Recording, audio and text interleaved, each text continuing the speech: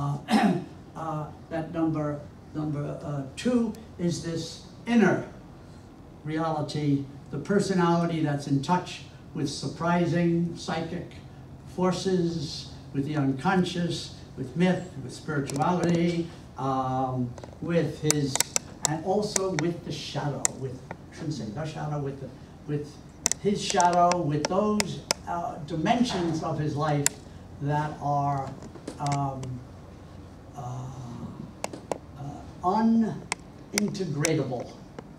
The parts of his personality, usually it's parts that we are embarrassed about, we can't integrate, we're ashamed of, we deny and repress, and then they, of course, because they're only in the unconscious and not in the conscious, they come around the back and they whip us from behind.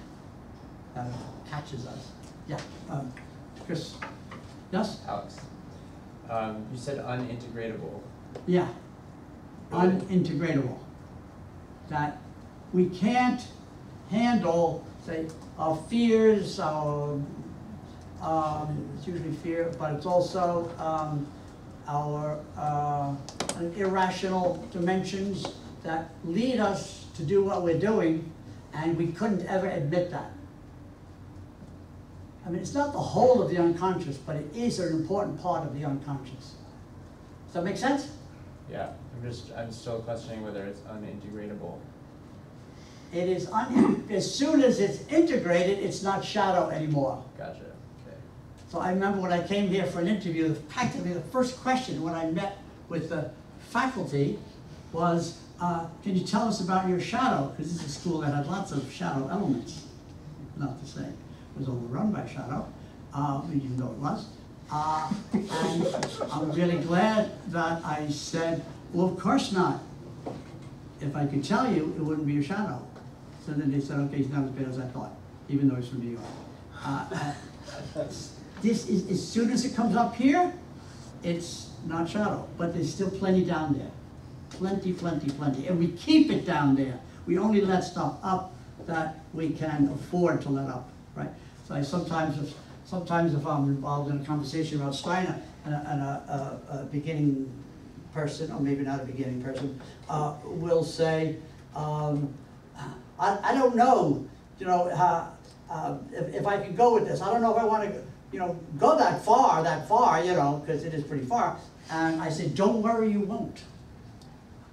You won't, because you, your, your rational will block anything that's going to cause you more trouble than you want. You'll keep it where it is. And all those embarrassing things will keep those where they are. We're not going to let them up until somehow, someday, we're forced by a, like that. And mean, just smack in the face. And then somebody, maybe a therapist, uh, or a lover, or a child, or aged person, or somebody who has a little distance, will say, Psst, would you look at this? Sometimes the universe does that for us, sometimes it's a person, but we will do everything possible to keep that way it is. And one of the things that Jung is really, really good at is persisting. Right? Also with himself, well, I should say not also, foremost with himself. He was very ruthless with himself, which doesn't mean he was perfect. But he did work at being honest about what he had in his unconscious. Uh, that's my opinion anyway. All right, now, going further back, we are dealing with a person who is deep, his psyche is deeply, uh, he's Swiss, but he's deeply Germanic, German culture. He comes out of, of Goethe and out of Nietzsche. And he is, if he had been a Lutheran pastor, he would have been the fifth generation Lutheran pastor. This is big lineage. Not that it's so impressive, it's that it's so singular, all right? So it comes, it's not Roman Catholic, it's not Asian or North American, it is Central European Protestant. So it has to do with individuality, has to do with a struggle between the human and the divine, it has to do with uh, a lot of violence, a lot of self-deception about the violence. Uh, it has to do with the the presumed requirement of faith despite the fairly widespread denied lack of faith. Get that? Widespread denial about the faith that was like a little candle going out. All right? So Jung comes after Nietzsche, his two big seminars that produced two enormous volumes on Nietzsche, very Nietzschean. He, um, he comes out, he comes after, and this is very important that he comes after Nietzsche's madman going into the square with a lantern saying, God is dead. And I think I mentioned this to you once before. Did I? You're not looking, you're looking as though I didn't. Okay, I'm sorry. Um, I will now. Um, I was giving a lecture somewhere and I mentioned it. Um, not I don't mention it every day, but there are times when it's really relevant that the old, Nietzsche's old man goes into the square. It's only about three or four pages. And um, there are people, a bunch of men standing nearby and says, what's wrong, old man? Have you lost your way? And he says, no, I haven't lost my way, but, you see, what are you looking for? And he says, well, I'm looking for God, but I know I won't find him. And I, this may not be the exact words that I just said, but this is exact. Namely, God is dead and we have killed him. That's the important line. God is dead and we have killed him.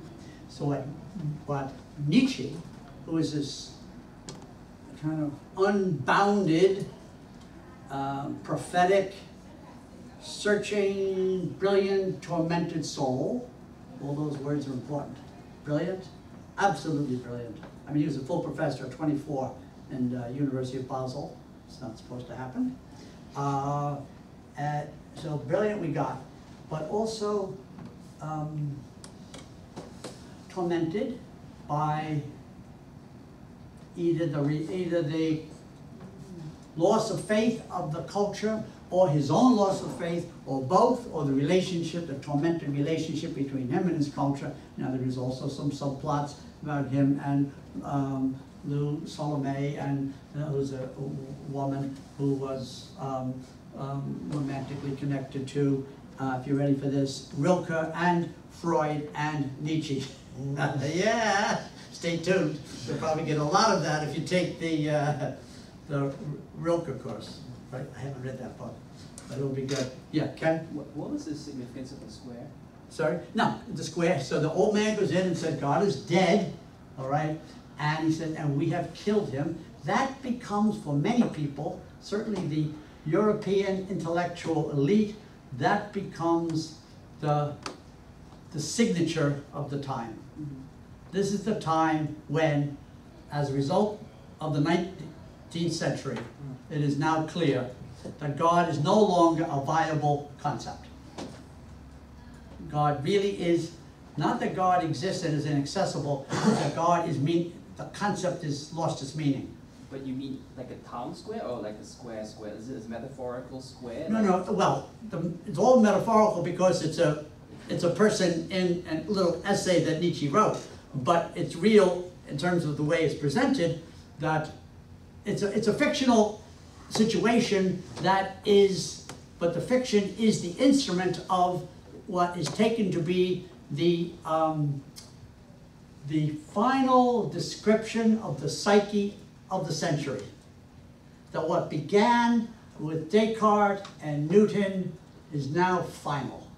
That the God who was doubted, who was sort of um, dealt with, sort of not dealt with, sort of avoided, sort of paid little tribute here and there, now it's clear. God is dead. Uh, And anybody who's looking, I'm sorry, any, looking for God will find them, and anybody who thinks that he or she has found God is in self-deception. This goes right into the whole of existentialism, whereby if you're looking for God as comfort, you are uh, in bad faith, using the language of Jean-Paul Sartre. Ken? No, I was just wondering because Jung talks about the quaternary and the mandala and four, you know, all sort of symbolizing some kind of Yeah, yeah. structure. Yeah, I just I don't know if I The mandala is one of his ways of helping Western humanity get centered again after basically the decimation at the end of the nineteenth century. So you, I want you to take seriously, as a cultural psychic experience, the death of God is an actual event. That is to say, at, at the level of people who read, read books and who thought big thoughts, the death of God became a cultural psychic fact. Right? It was an event that you couldn't uh, pretend with, uh, did not happen without self-deception and, and sort of uh, uh, pretense driven by fear. All right, yeah, uh, Emerson? But, but Nietzsche's not a nihilist, as he's often sort of maybe misinterpreted to be, right? Because he just doesn't, he doesn't end there, he keeps going, right? Nietzsche is a Rorschach. That you can find in Nietzsche this fabulous spiritual seeker, and you can find him being quite ruthless in his critique and despondency. Uh, he, I think of him as a spiritual seeker, but one who I think, I think I'm right to say came up empty. What about the Ubermensch? The Ubermensch, this Overman, or um, uh, sometimes called Superman, I think Overman is better, um, is uh, a conviction of Nietzsche's about what is needed. But it's not clear that there is an Ubermensch. He himself thinks of himself as an Ubermensch, but he is an Overman who, in a certain sense, only has his railing and not, I believe, any, um, any problem for us. That he, in other words, he can't, he doesn't really help us that much except by clearing the decks.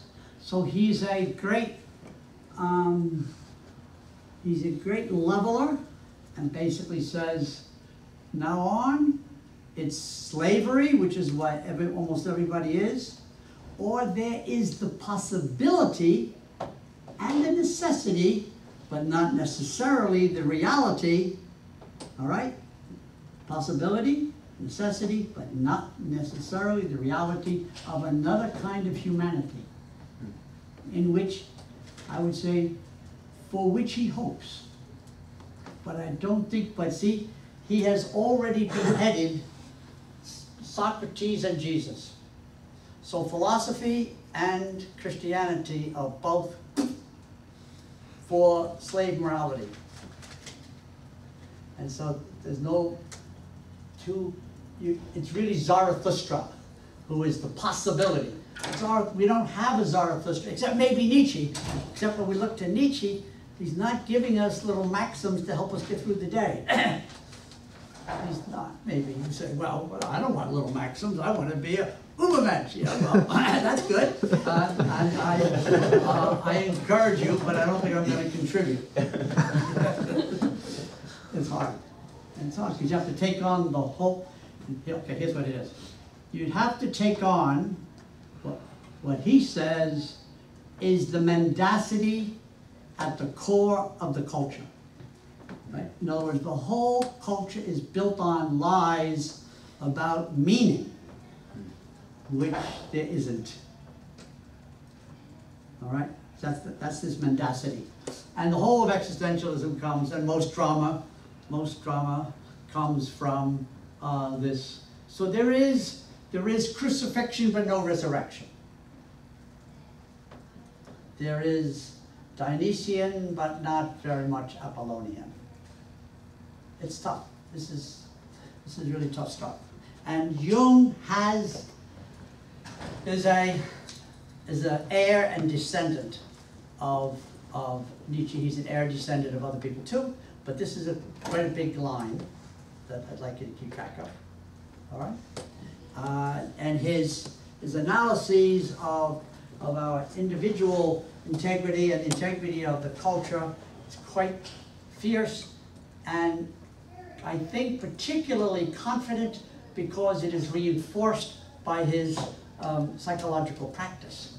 The people come to him people, you know, with a big problem. This is, you know, police tend to see criminals and psychologists tend to see people who have psychological problems. And um, so uh, he saw a lot of people who were really stuck and became brilliant about stuckness. Uh, and so that's, okay. Now, um, we're getting back to him. So he has these two personalities, which he's aware of early on. And maybe when we're having conversation, you could, some of you might want to say something about what that is, if you have had that experience. Um, I know many people who, who deal with that big time. They've got a career uh, where just like that, doctor, lawyer, whatever. And then this other side may or may not be fed, but where there's a big hunger for the artistic, the spiritual, the romantic, the, the mysterious, the, the numinal, the noumenal, the, the irreducible, mysterious dimension. You know, I know that's there. If I had a weekend, if I weren't in this sixty-hour job, if I didn't have three kids, if I didn't, if I weren't so scared of letting anybody know what I really think or what I really want, et cetera, et cetera, then they go on without feeding that, feeding, feeding, feeding. All right, one of the things about PCC is we're supposed to bring those together. So the language for that is what, I think we're probably trying to, I mean, I think we are working at this, bringing together the Enlightenment, the 18th century, with the reaction, the 19th century. Right? They're both really important. and anybody, if you're really, really romantic, um, think about what it would be like not to have had the Enlightenment, where there's no attempt at universal human rights, no attempt at objectivity, rationality, um, creating not just enduring, but creating a sane society. All that comes with the Enlightenment. Okay, uh, which fortunately was just in time for the uh, six people who created um, the United States. Not that we've been rational since, but in that shining moment, it was pretty good. It was pretty good. It was really good to read those guys. It's just like, wow, were they good? Okay, we can talk about that. Um, so now, um, so he was into uh, medicine, and but of course he's always got his eye on this uh, this un um, uncultivated uh, personality too, and he does these association experiments, and all of which, of course, can be written in a, uh, um, uh, uh, referee journal coming out of the, the hospital, Burghölzli Hospital where, where he was working.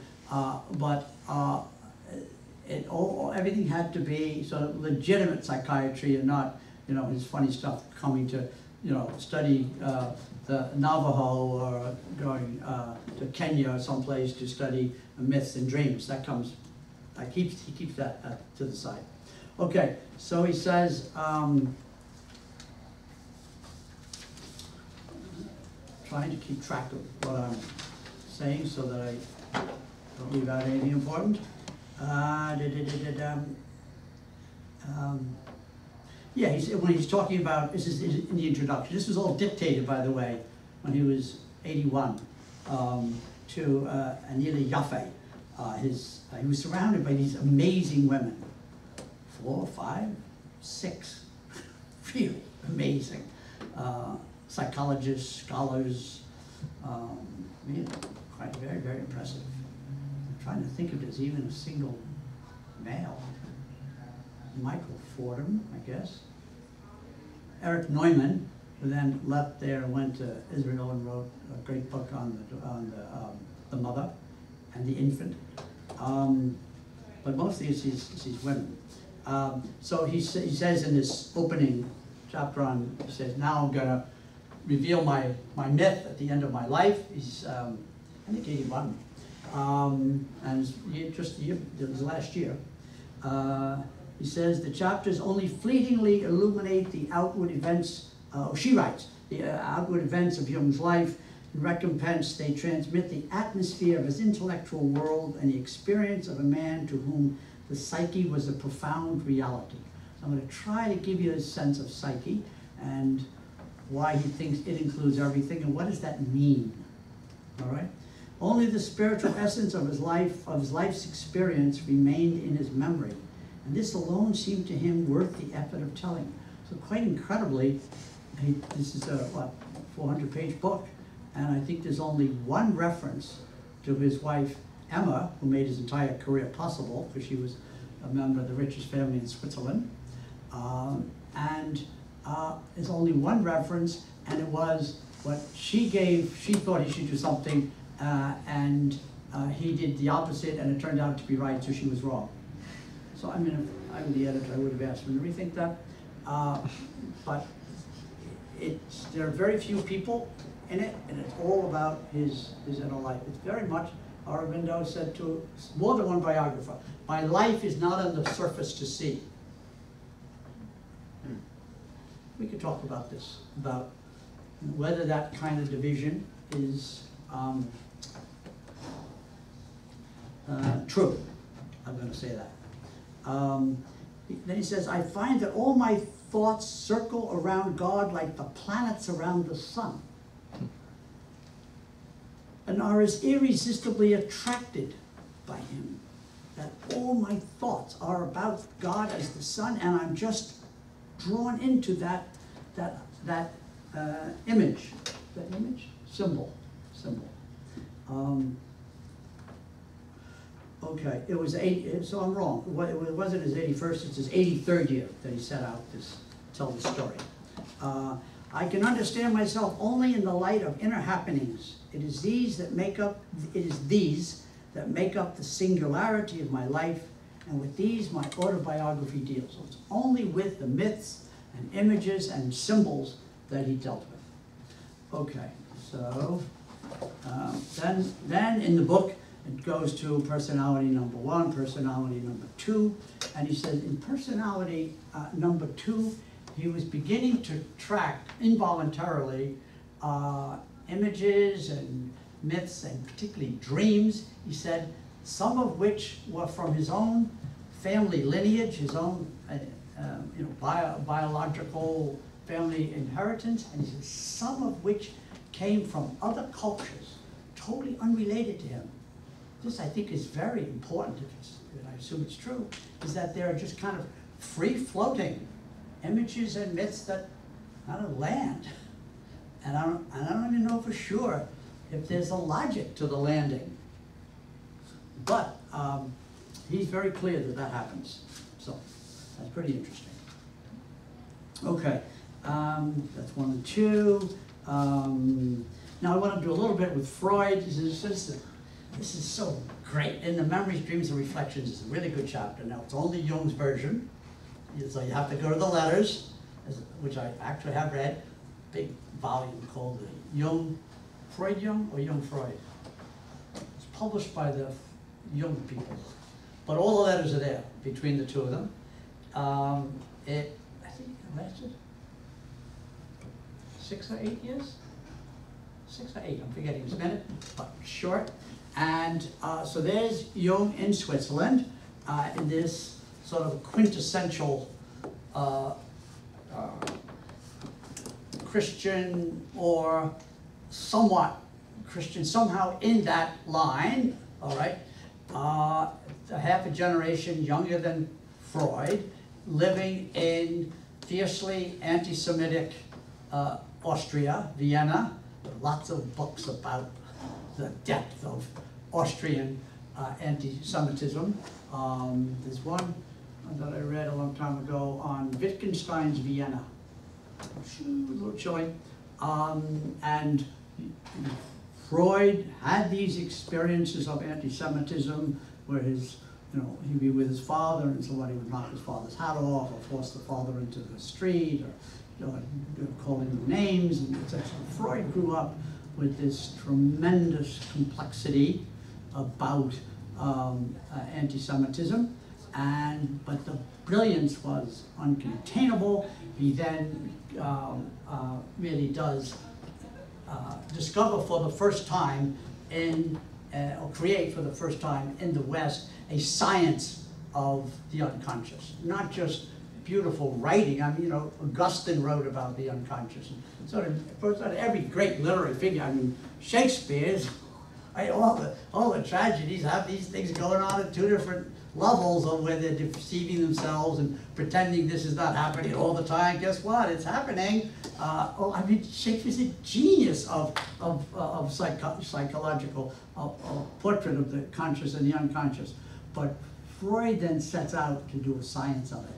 And it's, it's very amazing how he shows how we're lying and how we're stuck and how we have these images from our childhood that are stuck there somewhere and preventing us from going forward with a, with a love affair, with a marriage, uh, with a job, with uh, writing our, something we're trying to write, or we want to be a painter and we can't because like that, and it has to do with what happened to us the first time we tried to paint. And all that is in there, and he says that it takes dream after dream after dream and association to try to get it out and fi finally we can see.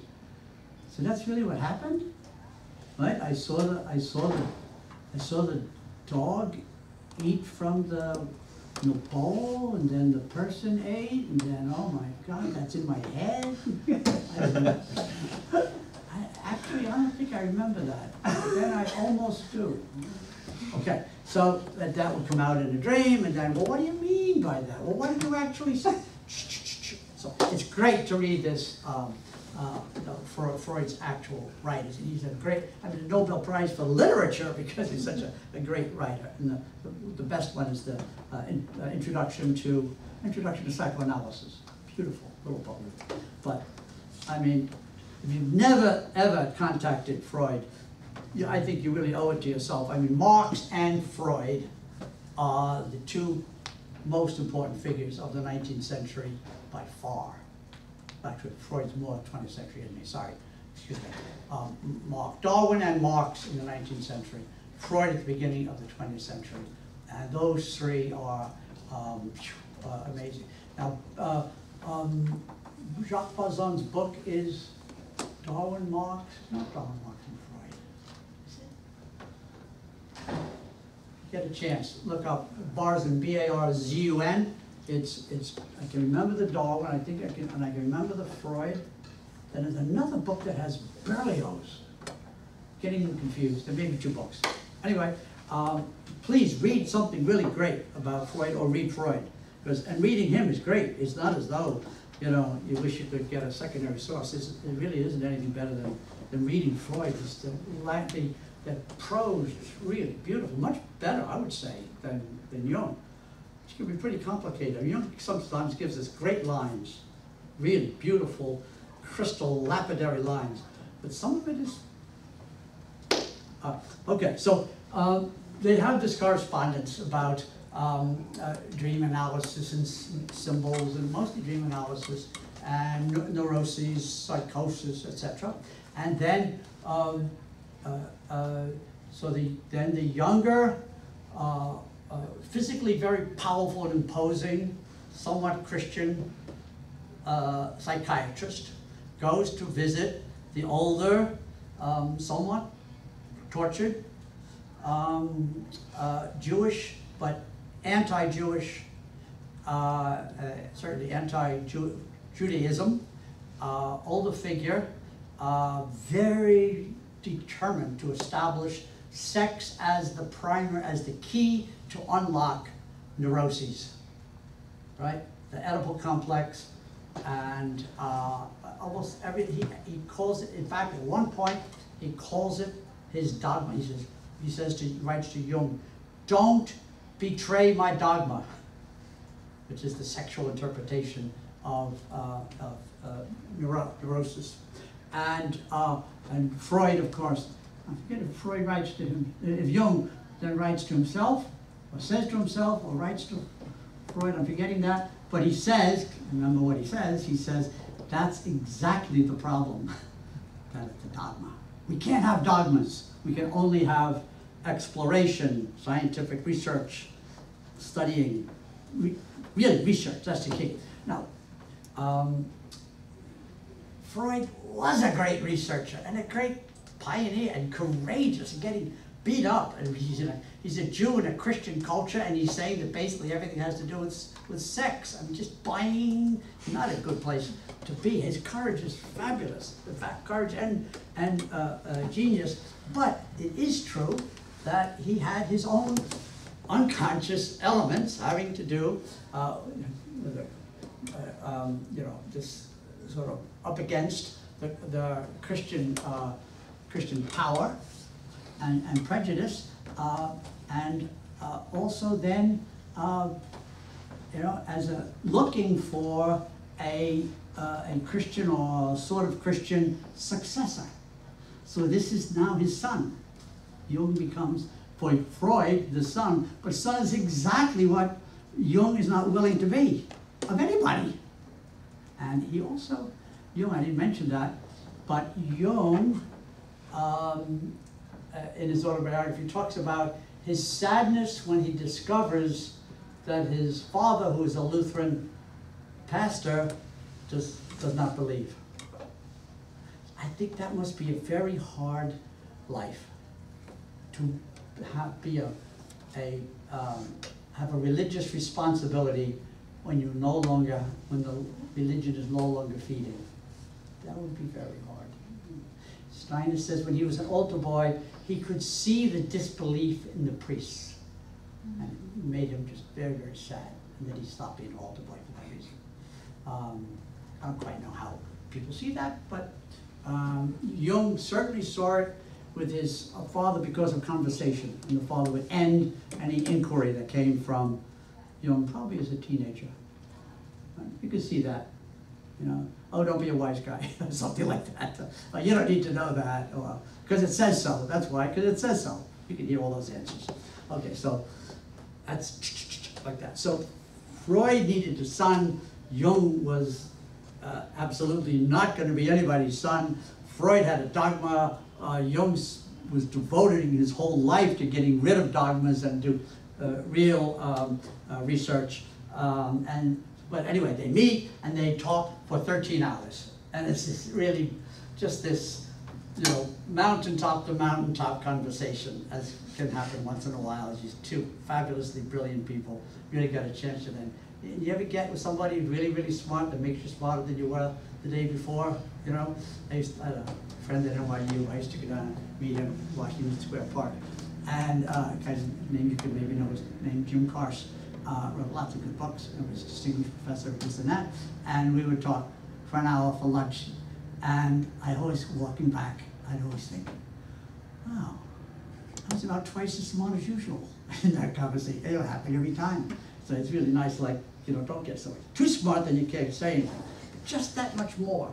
So anyway, they both experienced each other's as for the geniuses uh, that they were. It was this really great thing. Then they continued the correspondence, but after, I don't know where to put it, like after two or three years, um, it, uh, these problems began to surface. Then they, 2000, uh, 1909, they sailed together to Clark University, which is not one of those major universities at this time, but in 19, in, um, uh, in the early 20th century, it was. In any case, there was a very distinguished psychology department, and they invited a whole group of people, including Jung and Freud, on the boat together coming over, right? And they analyzed their dreams, and Jung's account is not so flattering to Freud about how Freud told Jung a dream, and then Jung interpreted it, and then oh, uh, Freud kind of fainted, or he kind of lost his consciousness. Another time, uh, Jung analyzed a dream, and Freud urinated in his pants. It doesn't say what Freud was thinking, doesn't say, it just gives Jung's account. But it couldn't have been helpful for their relationship, uh, uh, for either one, actually, in a way, but it was terribly painful. Well, very proud, um, and, um, kind of, you know, Freud, with a very disadvantageous life for his genius, whereas Jung really was privileged. Really privileged. I mean, it's just an inestimable difference to be um, Christian and, well, sort of Christian, son of a, of a, of a pastor will get you, you know, Christian enough when that's advantageous. And compared to uh, uh, Freud, a Jew in the 20th century, that becomes this rabidly, fiercely, horrendously anti-Semitic century. Um, uh, okay, so um, then uh, this is now in the teen years. Oh, I'm sorry, I should finish them off. So then these, you, you can, I almost sort of quoted the letters already, where he says, "Don't, don't disappear, and I need you for my dogma." And Jung says, "No, I'm not signing on to any dogma," and etc. I don't want your mantle, and I'm doing my own work. And then he writes um, symbols of transformation uh, in uh, 13, uh, which is the end, uh, which gives a very positive rendering of myths and symbols from a religious point of view. And Freud, like Marx, both Jewish, both brilliant, both really liberating the West from uh, sort of late medieval thinking and culture. Uh, one destroys the illusion that economics and class is um, is shall we say okay, you know that is benign and not controlled by a few people for their own benefit. Uh, I mean, Marx just does that irrefutably. It's you can't get back past that as though it didn't happen. It happened and it's still true. And so Marx really did that. And Freud did something equally amazing. What, he, what Marx did for economics and class, Freud did for uh, the unconscious and the whole area of integrity. The whole area of really integrity. Huge contributions. So if you don't, if you're not, you know, on first name basis with Marx and Freud, in a certain sense, I, I want to say you might be a little bit innocent. I mean, this, this is grown-up thinking. This is telling the truth about the human condition.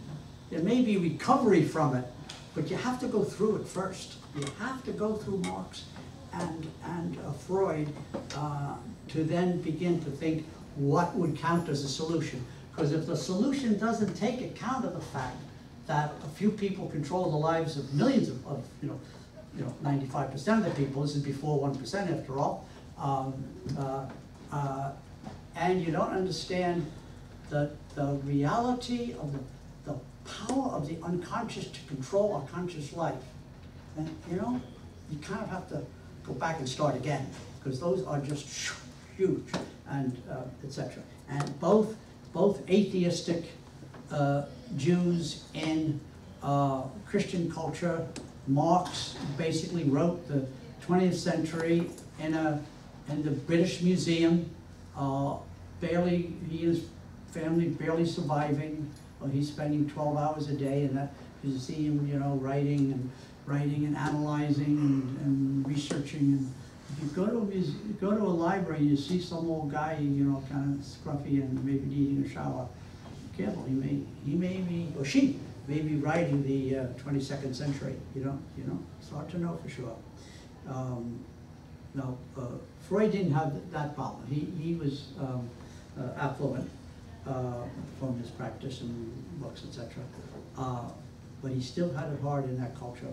And Jung, by comparison, uh, married a person totally devoted to him, uh, brought tremendous wealth, and and he's a, he was a early on he was a recognized as a brilliant uh, and learned original psychiatrist. Okay, um, so, so, so. Um, and pretty, pretty early, he gets into the, the uh, research on the mandala. And uh, I'm not going to ask you uh, if you know about the mandala, because I'm hoping you all do, and I'd like to go get, I'd like to sustain that belief.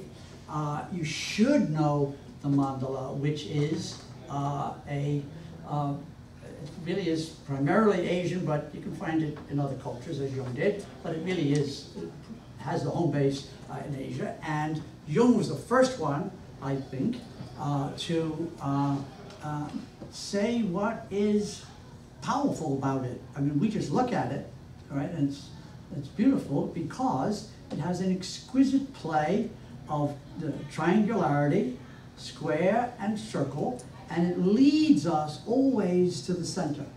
right? Now, our uh, symbol of CIIS is the Sri Yantra, but it is not a mandala, I don't think. That's a good question. I should ask Jim Ryan what he thinks of that. Uh, But we do, we have several times, there've been somebody who take over publicity, next, you know, letterheads and, and websites and stuff would come out without the symbol. And Somebody would say, by the way, where's the symbol? Symbol reinstated. It's important, it's important.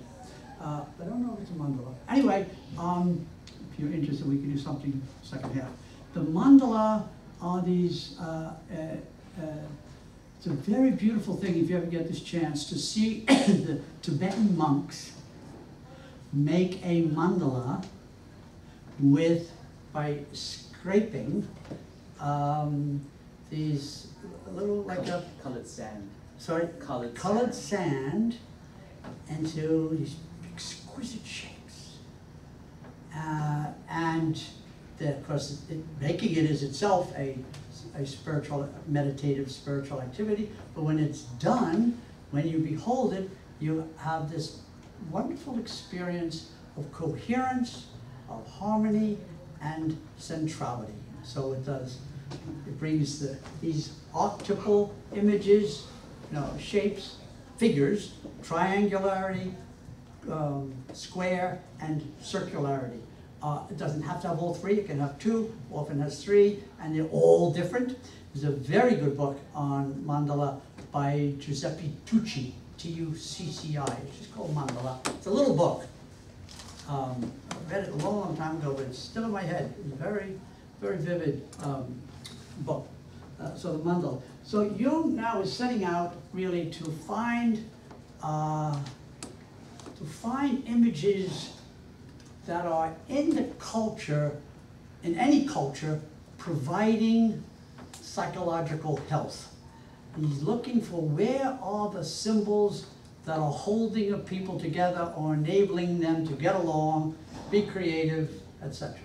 And he says, he looks then out of the way places because those cultures have not been overrun by a flattening rationality. so one of the great things about Jung is that he critiques the very commitment to rationality that the West thinks is its great contribution.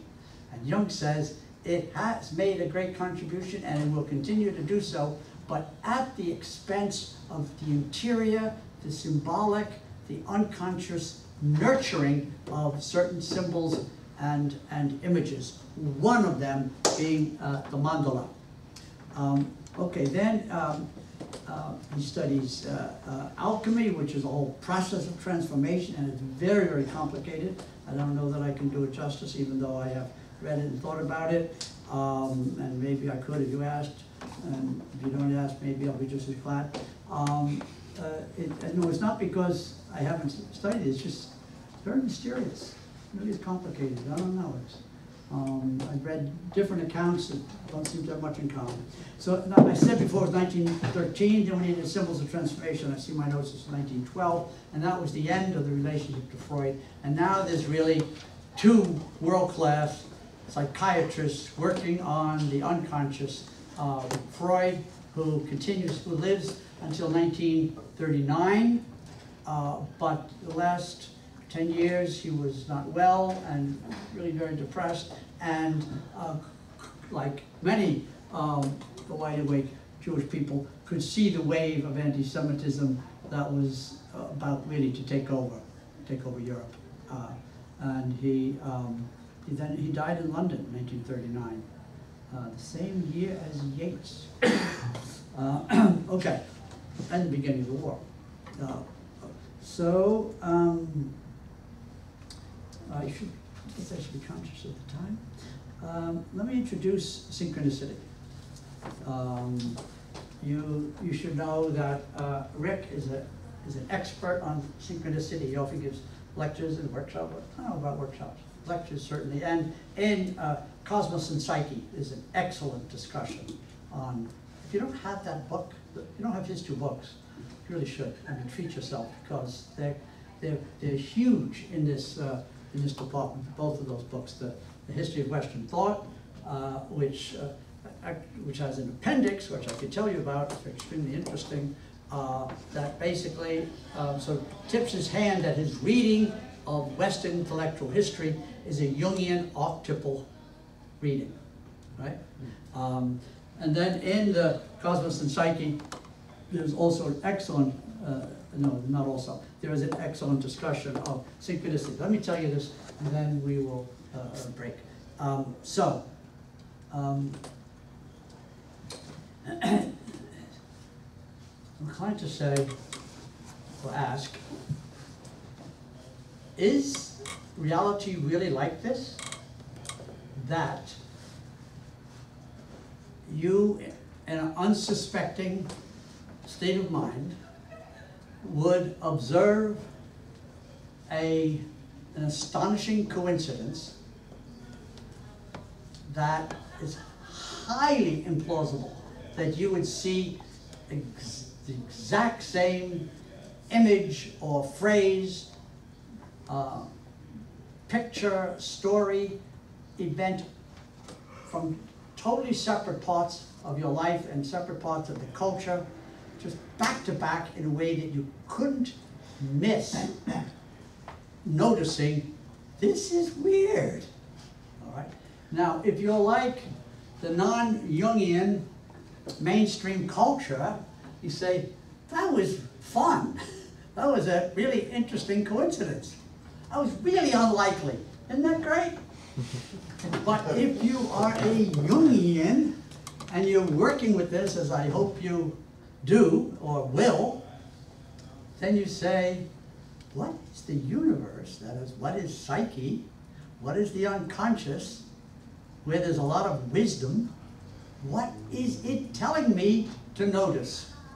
Now, you can go a little nuts up and start thinking every time you see the same ad on the, because, yeah, I know they're on all the buses, okay? So it's not necessarily a synchronicity, it's just that you ride the same lane, okay? And Holy Names University bought the side of the bus, or the Academy of Science, whoever.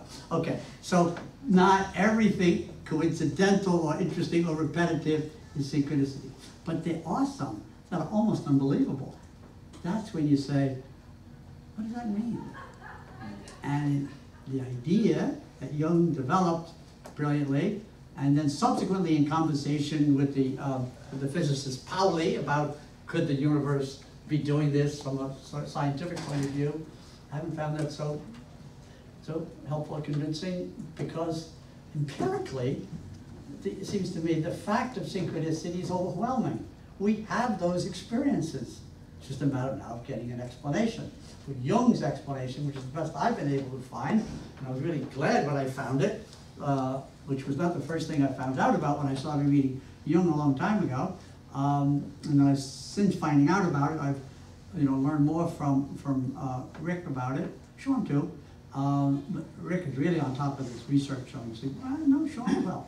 Uh, they're both really they both see, and, and I agree with them, uh, though they saw it before me, that if synchronicity is true, the universe is really different from what the mainstream thinks. It is a wedge. It breaks into the mainstream view that there's nothing out there. There's nothing in there, down there, that is smarter than we are. There is. No, first off, there's nothing there. And secondly, it's not only there, but it's wise and I don't know if we say it's compassionate. There's a whole problem about whether uh, synchronicities are positive, necessarily positive. When you consider something we haven't yet talked about, but we will, for Jung, the whole uh, higher, deeper dimension is both positive and negative. All the way to God, there is evil. So synchronicity has to be tricky as well. But I don't ever read about that. I don't think people really think of it as, as the wise universe helping us out with a little psst. Yeah, um, Stan Grof has a really good story about a negative synchronicity event that uh, he wrote about in, um, what was it when strange things happen? I think The Impossible. The impossible things happen. great book. It's a really good story about how he how he came to marry his first wife, I think. Yeah. Uh, This won't- is, this is Stan himself. y- yeah, Okay. he wrote this.